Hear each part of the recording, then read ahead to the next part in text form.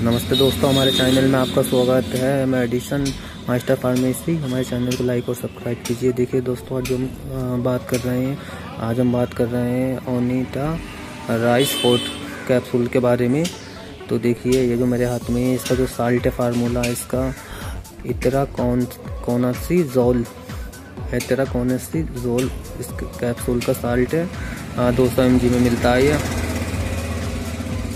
एतराकोनाजोल इसका फार्मूला है ये किस पे डिपेंड करता है? एलर्जी पे डिपेंड करता है, क्योंकि anti allergy, anti fungal, allergy जैसे किसी के दाद हो जाते हैं या खुजली या फुंसी फोड़ा जैसे हो जाता है, ये कैप्सूल है। दो सौ एम में ये कैप्सूल दिया जाता है, खुजली, एंटी मतलब खुजली हो गई, फुंसी हो गई या कहीं मतलब वैसे बस बह रहा है, जैसे एंटी एलर्जी बोल देते हैं इसी इसका यूज़ उसी चीज़ में होता है एलर्जी में। इसका साइड इफ़ेक्ट भी ज़्यादा नहीं देखा गया लेकिन अगर किसी को होता है तो वो मीटिंग हो सकती है सर में दर्द हो सकता है या जैसे कि थोड़ी सांस लेने में दिक्कत हो सकती है। तो इस टाइप से इसका साइड इफ़ेक्ट मतलब आ, देखा जाता है। आ, अगर इसका कोई मतलब आपको साइड इफ़ेक्ट अगर दिखता है तो अपने डॉक्टर की सलाह लें उसकी उसकी सलाह पे इस कैप्सूल को यूज़ करें। और आ, इसका जो मेन यूजेस जो है जो मैं बताता हूँ हर वीडियो में इसका मेन यूजेस खुजली मतलब खारिज के लिए ही होता है।